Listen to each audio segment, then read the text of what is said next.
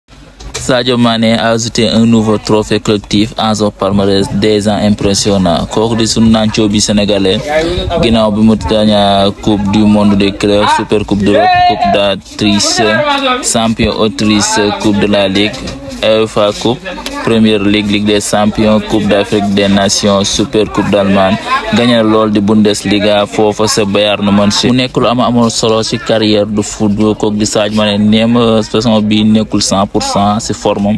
mais nekk na loo xam te ni avantage la pour mu préparer waat déwén incha allah Euh, ginnaaw bi nga xam te rumeur yi doon wax si wàllu transfert yooyu mu ni joxe lu leer ni moom bëggut a dem dafay toog pour pour préparer déwén incha allah pour ñëw joxe cent pour cent ginnaaw bi ñu ko jëndee ak lu seer kooku di Joe Cancelo nekkoon joueur Manchester City mu def lu incroyable saison bi mu gagné loolu di naan la première ligue teg si gagné Bundesliga sur la même saison c'est incroyable wallahi bala maa dem bàyyi leen ngeen noté sur dix kooku di su Nacho ba Sadio Mané moom mi nga xam te ni si euh, Bayern Munchen mu nga football 38 euh, matchs 27 titulaires 10 buts 6 passes décisives et 2 trophées ma bàyyi leen ngeen noté sur 10 euh, si saison bi nga xam te ni mi ngi ko def foofu de Bayern ngeen noté ko sur 10 maa ngi leen xaar si commentaire yi les gars abonnez-vous et aimez la vidéo pour ne rater la prochaine vidéo